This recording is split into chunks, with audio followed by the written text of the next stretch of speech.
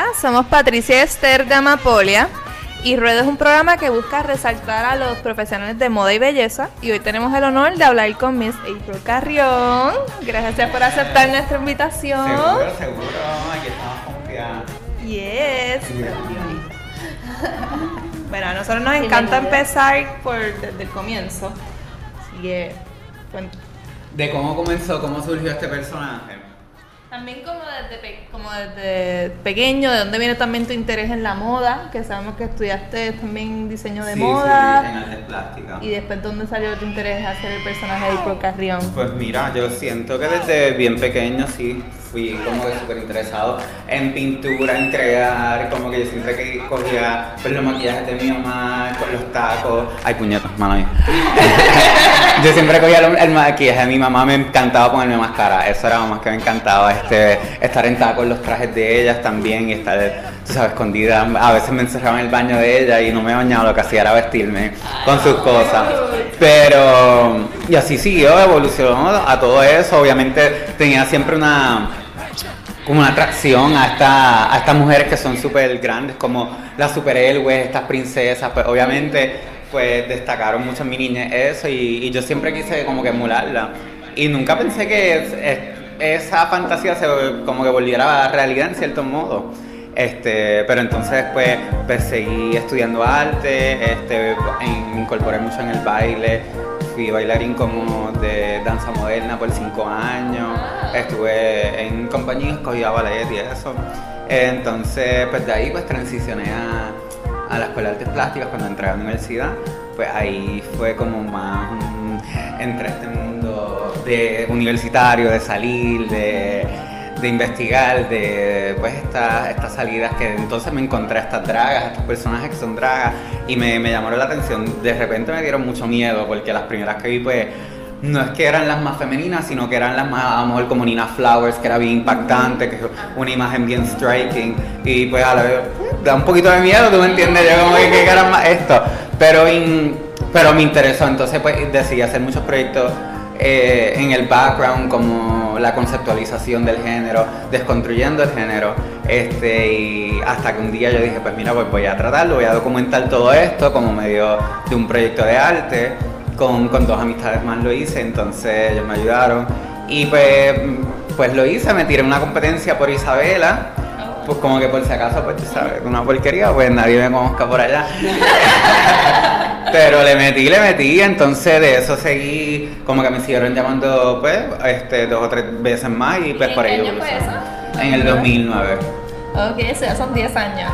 Yes, Oh, yes, en agosto cumplí 10 años, sí, sí, Wow. sí, yeah. Happy anniversary. Thank you, thank you, yes. Wow. Y por ahí seguí. Ok, ¿y cómo fue? Sabemos que hiciste eh, diseño de moda y también estudiaste escultura, también como minor. Pues yo ¿Por qué fue esa decisión? mira, yo estuve indeciso como por tres años y medio. En Siento esos tres años y medio, pasamos- Todos pasamos por eso. ¿verdad? Como que yo siento que es natural. Pues, eh, y como quiera, y después que me declaré, seguí cogiendo este, ay, clases de escultura, me encantó la escultura también. Cogía mucha, cogí varias clases de, de performance art para entonces incorporar este, pues lo que yo hago, pues eh, todo esto inconscientemente, como que tampoco fue como que, ah, esto es lo que yo quiero, no, simplemente pues me interesaba eso, que después lo pude incorporar con este personaje y que todos los proyectos los pude incorporar. También cogí muchas clases de, varias clases de fotografía y de imagen y movimiento, por eso también como pues me hago mis fotitos, hago, o sea, hacer las cosas funcionales y siempre es para con el fin de que April sea expresar lo que quiera hacer o un look nuevo, una foto, pues tenga, tenga las herramientas yo mismo y me gusta eso mismo de yo crear mis cosas. Perderme a veces horas en casa, como que sí, setear mis cosas. Ajá. Sí, a veces es tedioso, pero bueno, pero me gusta, me gusta meterle. Sí, sí. ¿Y quiénes fueron tus inspiraciones como de, de drags? De drags, este, pues al principio, es que han cambiado como todo artista, pues tienen como Claro. evoluciones, pero yo nunca, al principio nunca quise ser femenino, quise hacer algo bien grotesco a veces, no, no me gustaba ponerme busto, no me gustaba pelucas, ni las uñas, ni nada por el estilo, y, pues ahí era algo más andrógeno como Nina Flowers, que me pareció interesante porque era algo retante, algo rebelde, algo este contra la norma, como que pues eso me, me encantó y todavía me sigue gustando, pero ahora yo siento que estoy más afiliado hacia pues el burlesque, algo más femenino, algo más, este, una fantasía bien elegante, pero a la misma vez refinada también. Y también mucho, eh, después del, de la tormenta María, que yo siento que fue algo que nos marcó a todos, especialmente a los artistas de aquí, pues siento que eso fue un norte para mí conseguir una, una fuente de inspiración para siempre estar presente de que nuestra cultura es tan rica y, damos, y en esos momentos, este, no sé, en mi mente se pudo perder toda esa cultura, ¿entiendes? Como que fue fue inminente para mí, entonces fue como una luz roja, como, como que mira, despierta, como que let's do this. Y entonces pues ahora me siento más que tengo que llevar esa, esa cultura, ese sazón, pero a la misma vez mezclando y fusionándolo con, con otras influencias, vamos, pero pero siempre trato de buscar ese, ese lado latino y ese lado de, de aquí de Puerto Rico. Sí que se nota desde los 30 Days of April que, ha hecho, lo de las, las, colaboraciones que ha hecho con diseñadores y fotógrafos de aquí. Sí, ¿Sientes que es bien importante llevar la cultura presente en la moda? Pues yo siento que es inminente, yo siento que la, como que para algo que sea bueno y especialmente nosotros que somos artistas, tienen que expresar un, una verdad, un este, tienen que tener una contundencia y, y, documentan algo, documentan un momento y yo siento que es imprescindible que documente nuestra, nuestra cultura de cierto modo, ¿entiendes? Por, por cómo vivimos, por cómo... Y la moda es eso, ¿entiendes? es como nos vestimos, como vivimos el día a día, so, yo siento que es súper y este, importante, inclusive por eso yo en los 30 Days of April este, pues, quise colaborar con toda la, la mayoría de gente de Puerto Rico con artistas para entonces apoyarnos, porque aquí hay gran talento que hay que mostrarlo. Definitivamente. ¿Y de dónde salió tu nombre, April? Mira, salió, es algo tan estúpido y tan sencillo, pero me tomó, me tomó casi dos meses y pico. Nací en abril, simplemente eso. Ok, naciste en abril y tu apellido. Exacto, pero eso me tomó dos meses. ¿Cuáles otros tenías en mente? Ay, es que eran bien cafres, como que. y entonces, como que no, no pegaban nada, era como que elastic y cosas así. Yo, yo juntando cosas. Ay, mi, mi, primer nombre era Yasca Mariposa. como que. al garete, como que. No, no, no, no. Yo dije, ay, ya, pero ella era más cultural, vamos, era más folclórica. Pero, pero sí, sí. Pero llegué a ese nombre. Entonces, dos, uno de los amistades que comenzó conmigo también este, comenzó a hacer drag y también utiliza esa fórmula de, del, del mes, exacto, y el apellido de él. Se llama Januari Fuentes. Y como que, pues, eso. Sí, sí. Sí. Suenan súper lindos en realidad esos nombres, no serán como, como el primero que dijiste. ya, mariposa, no, no, no. Está chulo, sí. Y también vino de, de, Nina Flowers, me gustó porque él se llama Jorge Flores y simplemente ah. se quedó con su apellido y yo dije, ah, pues mira, me gusta. Y está cool porque cada vez que, viste, cuando viajo y eso a Estados Unidos, ahora pues es horrible que cuando digan carry on, como que April carry on, como que mencionan el nombre así, pero me gusta porque entonces ahí yo... aprovecha y los corrige. Exacto, sí, en Puerto Rico. Y le digo como que coge el micrófono rápido, le digo, no, yo no soy un carry on, yo no, tú entiendes. No, no, no, no. no. Y le, los pongo a decir la R bien y todo el mundo se ríe, está súper chulo. Y hacemos un chiste, pero, pero también es, es algo cultural que también como, como me gusta sí, sí. ¿Y cuál fue tu first big break? Como que tú sentiste que hiciste como que I made it. Este, bueno, no sé, he tenido muchas oportunidades súper chulas, pero yo siento que my first big break fue, hice el video de Gloria Estefan, me encantó eso, así. Ahí fue como que yo dije, oh my god, this como que could actually be serious, así. Pero también antes de eso, yo gané un concurso aquí que se llamaba Miss Crash, que era como de la discoteca más, más cool que había en todo el Caribe.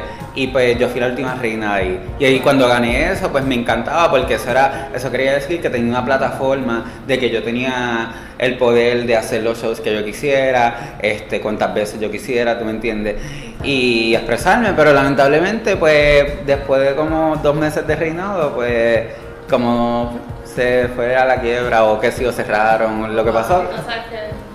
Pero, exacto, pero como quiera, me encantó tener ese legado de, de ser parte de eso, porque antes, antes cuando yo empecé en el 2009, los, no era, los medios no eran tan importantes y no eran tan accesibles, así que la única manera de tú tener exposición y, y dejar de alta conocer era pues compitiendo para ganarte un spot, que la gente te te, apoyara, exacto, te pidiera, exacto. Si dijeran, ah, queremos ver a April, entonces ahí pues coordinaban los, los jefes de los, de los shows y eso, pues para, para que me dieran show. Pero entonces era la única manera también, como que yendo a la discoteca, no eran estos medios que, ahora yo me puedo hacer una foto y puedo eh, llegarle, ah, exacto. Y todavía tengo ese personaje vivo. Pero, pero exacto, y me gustaba también como que era más presencial, era chulo. So, se me olvidó que estamos hablando. Ah, de eso. Pero va, va con lo Sí. que hablar, que es precisamente sobre los medios, en cómo pues también que habías trabajado en ese video musical de Gloria Estefan, el de Cani García con Residente, el de Lisbeth Román Sí, sí, también, también. y también han hecho artículos como el del Nuevo Día, eso fue histórico, ¿verdad? Eso nunca se había hecho antes, como que así en coverage, No, yo creo que coverage así. A lo mejor en otras revistas como Te Veía, con, con Alex Soto, con Johnny Rey, eh, pero no sé si en el Nuevo Día, pero yo sé que fue algo bien grandioso para mí, inclusive cuando mi abuela, ella le llegaba el Nuevo Día y cuando lo vio, ella, Dios mío, ella no podía ni creer, como que fue algo bien chulo.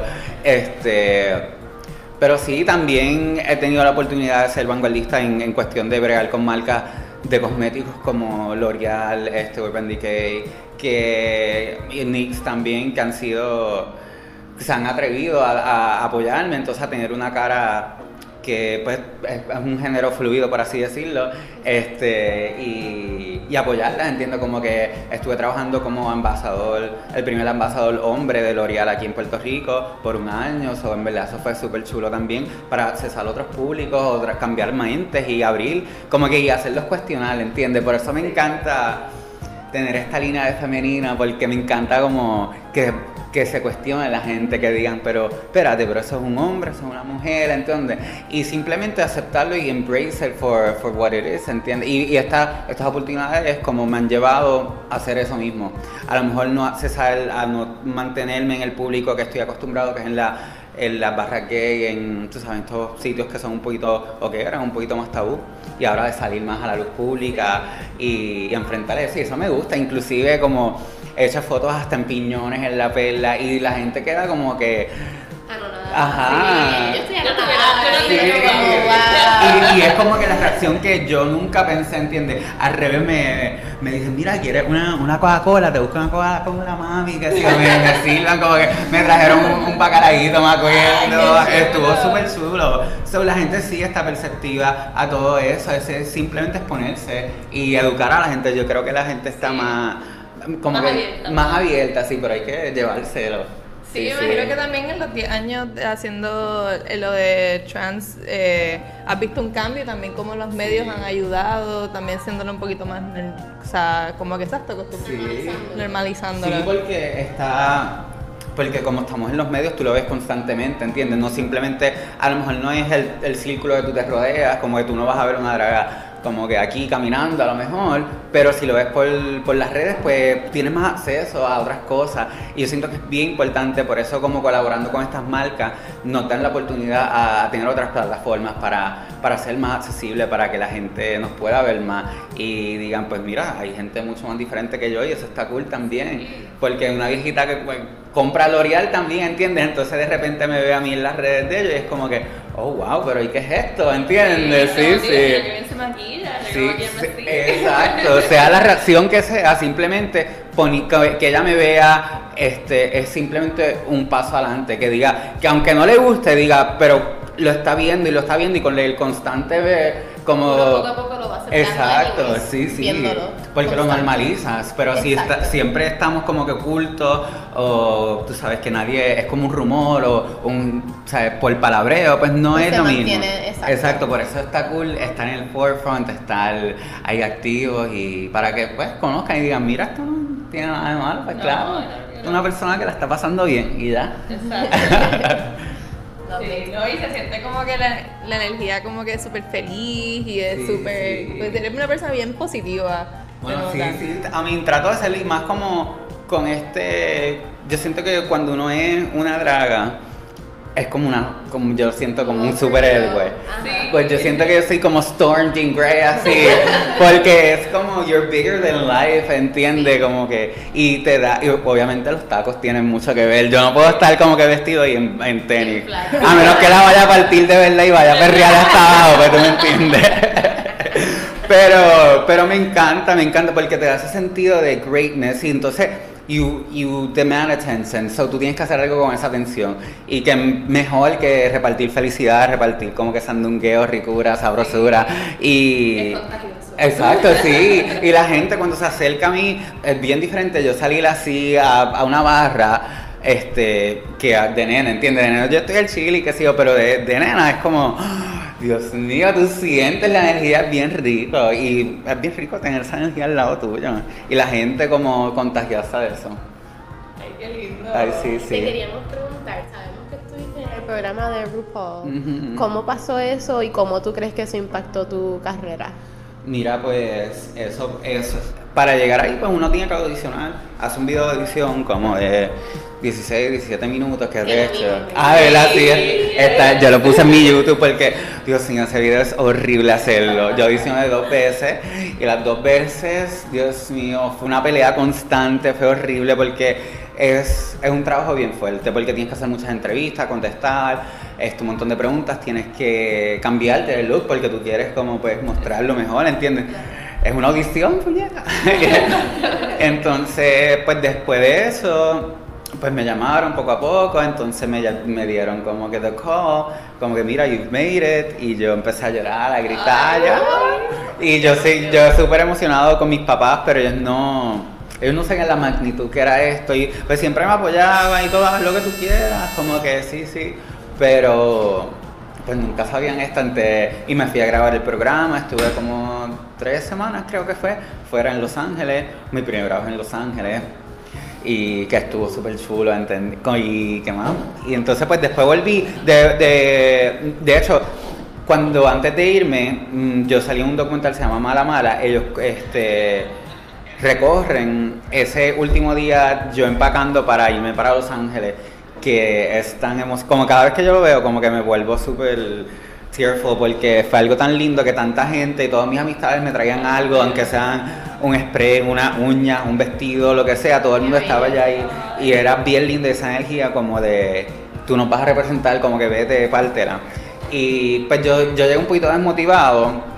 Este, porque decía como que pues no llegué a ser como top 4 ni nada de esto, pero a la misma vez eso me, me impulsó a hacer algo con todo lo que yo había preparado. Y entonces ahí fue que pues pude accesar las redes sociales y tenerlas a mi favor y mostrar cada look que yo hubiese hecho en, en el programa y pues como que exponerlo. Y eso me ayudó brutal como que a, que la gente me siguiera, estuviera mucho más interesado en, en, lo que yo hago, en mi forma de expresarme y, y, toda, y de hecho empezó a que todo el mundo ahora hace eso en RuPaul, pues los tienen, o sea, el look que tienen que muestran en, en la televisión después lo ponen en las redes con con, como si fuera un photo spread, como, como tu visión completa, magnificada. Y eso estuvo chulo, súper chulo. Y se olvidó la pregunta. ¿Cómo el show impactó? Ah, pues vamos, vamos. Entonces después de eso, este pues cambió mi vida por completo porque cuando salió el show pues empecé a viajar como loco de que nunca estaba aquí, nunca, nunca. Este, viajé el mundo, he viajado a un montón de lugares, he conocido mucha gente, este, y ha sido, se ha vuelto mi trabajo, que nunca imaginé tampoco que esto fuera mi trabajo en lo absoluto. Este, ¿Y tú puedes vivir de esto, for sure, sí, aquí? o afuera? con los viajes y Exacto, exacto. Eh, sí se puede, pero hay que, por lo menos aquí, exacto, por lo menos aquí Mm, yo no trabajo mucho aquí porque no hay, no hay muchos venues, no hay muchas oportunidades. Si hay oportunidades hay que crearlas nosotros, entonces ahí... Que sí habrá demanda, pero no hay como algún sitio que la supla. Exacto, entonces como pues sí hay espacios para shows, pero entonces no son costo efectivos, ¿entiendes? Como están, y yo lo entiendo, o sea, todo, todo va por la mano. Después de María también hemos, el público, especialmente el gay, yo siento que, que se migró un montón porque es mucho más fácil. casi todas mis amistades viven afuera ya. So, y es bien triste, pero como quiera me encanta estar aquí porque siento que debo apoyar mi, mi comunidad queer y participar en, en, diferentes eventos cuando pueda y todo. De hecho, la semana pasada, el sábado, estuve en, en un nuevo lugar que se llama BCO Lounge, que es en Ares, ahí bonito. Entre todos los lados. ajá, como... Por lo menos sabemos que Sí, sí, está súper chulo y un jangueo súper nice, como está súper, súper lleno. Y me sorprendió, de verdad, tanta gente linda y, y fue chulo como... Y allá hay dragas también, pero ver, yo me acuerdo como que verla su cara fue como que, ah, porque yo fui en perra con mi corsé y, y desnudándome y todo, y todo el mundo como que, ah, que fue súper chulo también exponerme en, esa, en ese ambiente. Es una inspiración también para muchos que están empezando. Sí, sí. Y está súper cool, pero me encantaría poder presentarme más aquí, este, porque no hay nada como presentarse en su isla, de verdad. Está súper chulo. Y también queremos hablarte del documental de Mala Mala, cómo fue ser parte de los primer, de los actores principales en el documental. Pues mira, Mala Mala, ay Dios mío, pues fue súper chulo en verdad. Fue por eh, uno de los directores, Antonio, él estudió conmigo en Commonwealth, en La High, y entonces pues él vio lo que estaba haciendo, eso fue cuando gané, acababa de ganar Miss Crash, este, entonces de eso ellos grabaron también el momento que Gloria Estefan me llama para, para hacer el video y, y fue súper nice porque yo, yo fui el, la conexión que ellos tuvieron con este mundo de Puerto Rico, de la comunidad trans, comunidad drag, este, todo. Y entonces yo les fui enseñando a todos ellos cómo, cómo era, cómo funcionaba. Fue un proceso largo porque pues ellos eran como nada, no sabían absolutamente nada. Y estuvimos grabando como, como dos años y medio, algo así. Y después ellos volvieron a grabar más. Y, sí, y mucho de ese pietaje no, no se utilizó, simplemente fue investigación, como que para que ellos entendieran cómo funcionara el mundo, porque era, y a veces era tan abstracto, como que yo no podía ni explicarle, como que mira, eso no es, como que esto, esto no funciona así, están grabando algo, están haciendo algo que realmente no es la realidad, este, muchas cosas así, pero ellos cayeron en tiempo con el, vamos, tan un ambiente nuevo para ellos. Y fue bien chulo, pasamos una experiencia bien nice. De hecho, como que una vez hasta se volcó el carro que se... Ay, no fue. Sí, y yo vestido de Marilyn Monroe, me acuerdo que íbamos para la cueva, cueva ventana, como que ay, fue horrible. Hay un video de eso. Ay, sí. Yo como cantón, yo poniéndome las uñas y entrevistándome y yo, mira. horrible. Pero además de eso fue súper chulo porque también pudimos ir a...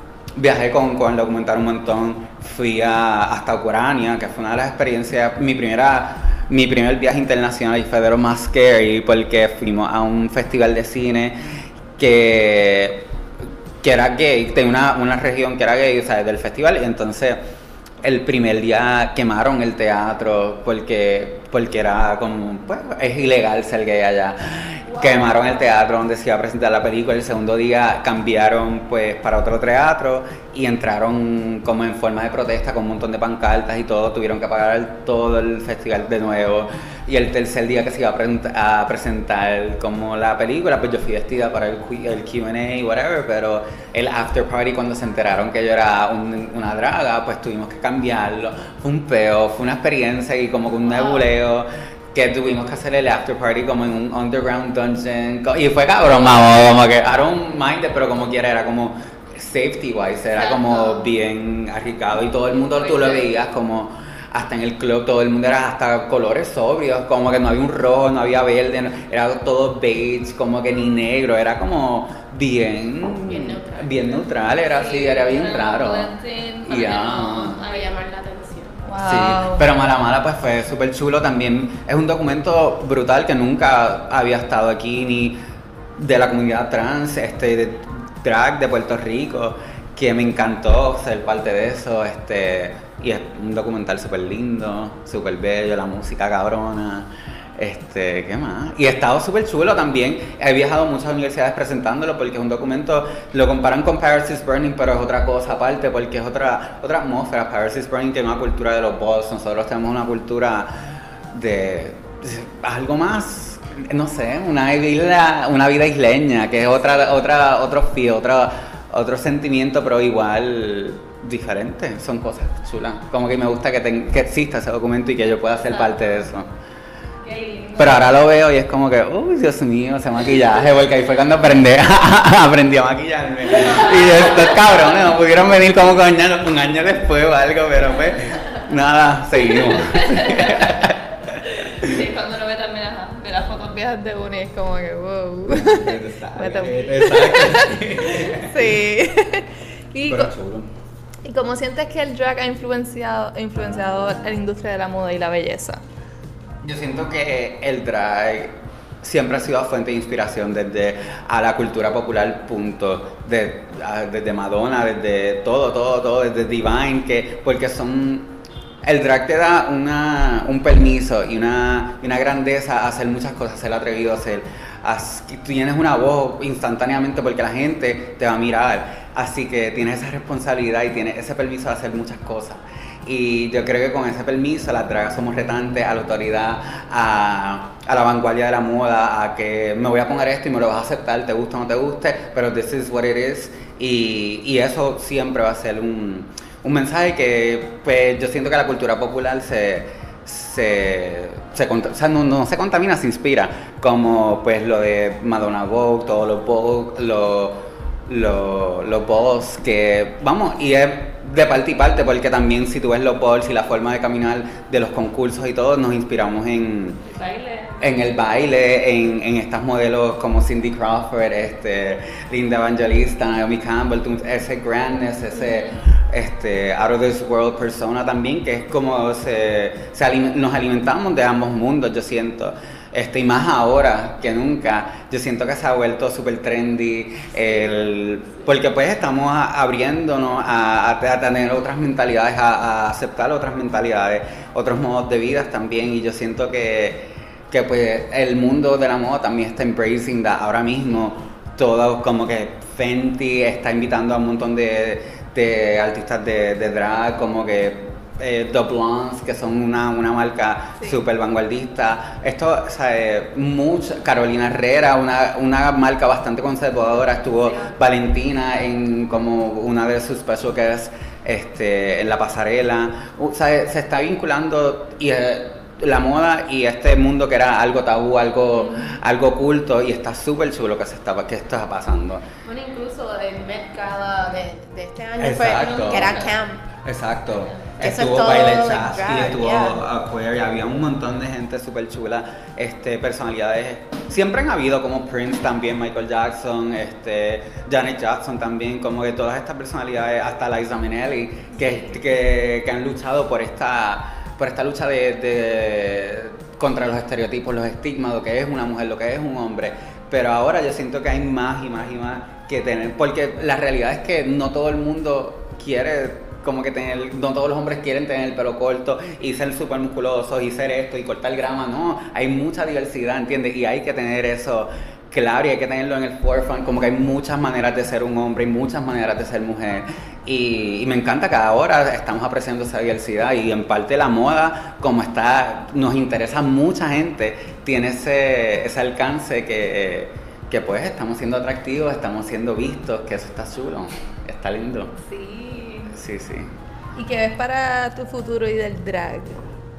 Pues, futuro, pues para mi futuro yo siento que yo quiero seguir creando, creando, creando y creando, creando, evolucionando en otras cosas, a lo mejor volviendo hacia atrás de lo que yo era. Este, estoy en el verano estuve entrenando de nuevo, volví a coger clases de baile, estuve como un mes y medio cogiendo clases de ballet, de danza moderna, para fortalecerme, para seguirle investigando. Y también quiero, ahora estoy trabajando en un show que quiero hacer todo como que sea amigo y, presentar diferentes, hacer un show como de una hora, una hora, una hora y media y presentar muchas cosas diferentes que, que siempre he querido hacer y pues yo siento que lo tengo que hacer para descargarme, para y también para presentarlo aquí, quiero presentarlo aquí, meterle y colaborar con mucha gente de aquí. Voy a, este, ya está, voy a colaborar con un colectivo que se llama Musa Viva, que son dos muchachos súper chulos, este, que, que, trabajan ese mismo cuestión del género,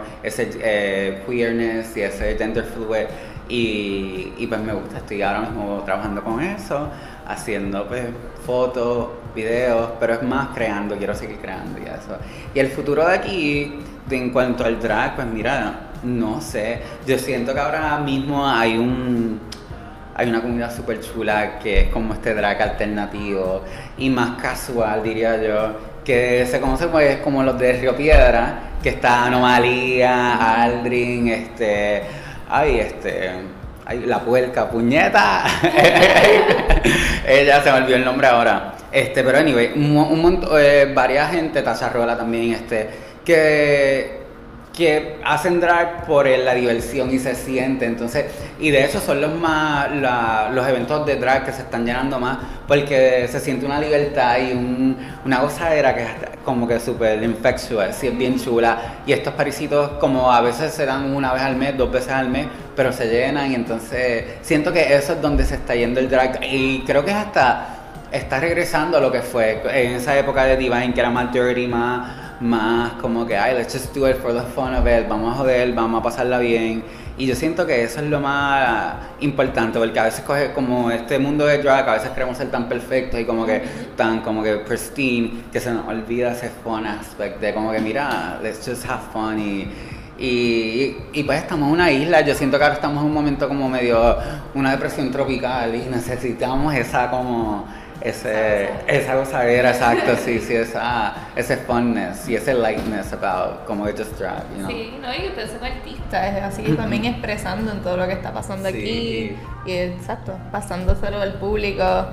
Sí, sí, es exactamente eso. Inclusive también me gusta que eh, por lo menos esta escena bastante también política, siempre está súper, el, el, ¿sabes? Somos, está en la vanguardia de lo que está pasando, siempre traen como temáticas de lo que está pasando en cuestión de la política, de, de los, del género también, muchas cosas, de la música. So, y, pero tienen es un sentimiento tan liviano y tan vamos a gozarnos todo lo que está pasando. A la misma vez vamos a seguir protestando, vamos a, a dar nuestro punto de vista, pero vamos a joder. Y eso me encanta. Sí, sí. Sí, es algo que siempre siempre se ha mantenido así, que como que la lucha sigue, pero no se para de disfrutar. Exacto, yo voy a protestar, pero tengo mi medalla en mano. ¿Y qué les recomendarías a personas que quieren seguir eh, tus pasos en cuanto a carrera y drag y todo? Pues mira, yo siento que lo más importante es que, que se expresen, vamos, que se expresen, que que no se limiten, que simplemente eh, hagan lo que tengan que hacer, este, practiquen. Yo siento que la práctica es lo mejor que un artista puede hacer, practicar, practicar y investigarse, como que conocerse, porque yo creo que uno de mis errores, no errores, sino que enseñanza, es que aquí había como una fórmula de que alguien te maquillaba, alguien te peinaba y alguien te cosía. Entonces, este, porque era un, sistema grandioso y que todo el mundo pues seguía porque ese era the right way to do drag. entonces ahora me encanta que eso que fue brutal porque el drag de aquí en ese tiempo pues estuvo top of the line, se conocía mundialmente, pero entonces ahora yo siento que está cool que cada cual se investigue, se conozca, porque no, fue un proceso también cuando yo empecé a maquillarme, a encontrar cómo, es, cómo yo me quiero ver, qué es la cara que yo quiero proyectar, y entonces yo siento que esta generación ahora que está empezando con todos estos videos de YouTube, con, el, con Instagram y todo, pues tienen más libertad en, en esa búsqueda, en esa no sé, de encontrar sí, de identidad, de, buscar cómo se quieren ver, qué es lo que tú quieres expresar. Y yo siento que esa, mi mejor advice es como follow, be true to what you love, como que, y, y hazlo lo mejor que tú puedas. Y también como, pues, joder, en verdad. Porque a veces nos tenemos en nuestra cabeza que es como, se nos va, como que estoy cogiendo esto tan tan serio que se nos olvida como just have fun with it. A veces yo tengo que decir como que, mira, fuck it, yo me voy a poner esto y la voy a pasar el cabrón. Y como y esos días que a lo mejor el, el menos effort que le pongo es lo más cabrón que le paso. Porque se siente esa actitud de como que yo soy la perra, como que esa actitud de no importar, eso es lo más infectious que yo creo que tienen que tener todo el mundo, sí. Sí, sí, porque ahí se ve lo genuino, como que, de verdad te lo estás disfrutando. Y ahora, y más ahora que hay tantos espacios diferentes para expresarte, que no, no solamente tienes que estar en el escenario, tú puedes ser alguien de YouTube, puedes entrevistar, no tienes que hacer show, puedes cantar, puedes actuar. O sea, tú puedes expresar un personaje de drag de tantas maneras que no te tienes que ligar a, nada ni tienes que hacerlo todo. Es como lo que tú quieras, lo mejor que tú quieras hacer y, escoger y hacer lo que tú quieras, en verdad. Se va. Sí, sí, hacerlo cabrón y ya meterle. Sí, lo Y ya. y ya que tú tienes diseño de moda, ¿muchos de tus outfits tú los haces o más colaboración o es como que pues mira, comprando y... Es un poquito de todo, sí, es un poquito de todo. Casi siempre cuando yo estoy haciendo un vestuario para, para hacer show, pues a mí pues me encanta el burlesque y me encanta como ese tease de seguir quitándome cosas para, para eso mismo, para encender esa llama de de que mira, pero es una nene, pero parece una mujer, o sea, esa, esa disyuntiva. Entonces, pues me encanta diseñar lo que sea, este, que el vestuario también sea parte de mi performance. Y ah, casi siempre lo hago yo. Si no, pues ah, ah, utilizo a diseñadores de aquí como este, Javier Arnaldo, este, Taylon Reyes también me ha ayudado, Héctor Omar también me ha ayudado. Este, pero siempre es como que le voy con un punto de vista, mira, esto es lo que quiero, quiero que se quite esto de esta manera, eh, es siempre esto, pero también me encanta hacer mis vestuarios porque siento que estoy trabajando en mí, aunque a veces es un poquito tedioso, pero...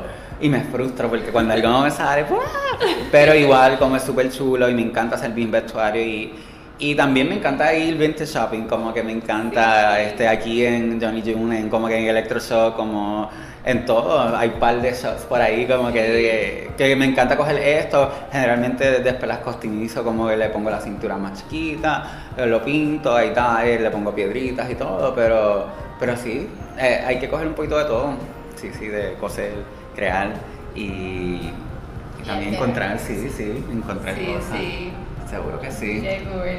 Bueno, y cuéntanos un poquito del playlist que hiciste. Pues mira, mi playlist este, se llama Tropisensual. Yo siento que me encanta esa palabra porque siento que me identifica porque es algo tropical, yo siento que es algo este, liviano, sencillo y, easy to listen to.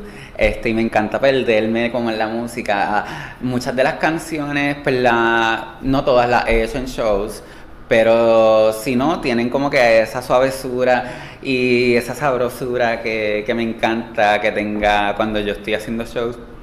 Este, nada, y es como mi, no sé lo que yo escucho. El otro día lo puse como para ver qué es la que hay, cómo fluye todo y me encantó, en verdad, lo puse como un par de veces y sí, it's all about me, me encanta. Hay muchas muchos artistas eh, latinos, también hay, está Madonna, está Kylie Minogue, que es mi pop diva por siempre. Este, ¿Qué más está? Está ah, ya le tengo que decir. Eh, Rosalía también está por ahí, right. Hay, hay muchas cosas diferentes, pero creo que algo constante es como eh, esa chileadera y esa como, no sé. Ay, siéntate, cuando, por favor escucha en el playlist y como que yo, yo lo que quiero es como dar pelo suavecito y como que, ay sí, y vivirme mi película bien slow motion, como que, y como que yo te voy a pestañar pero bien suavecito y te lo vas a gozar, como que es eso, esa silla era en verdad, está cool. Sí, sí.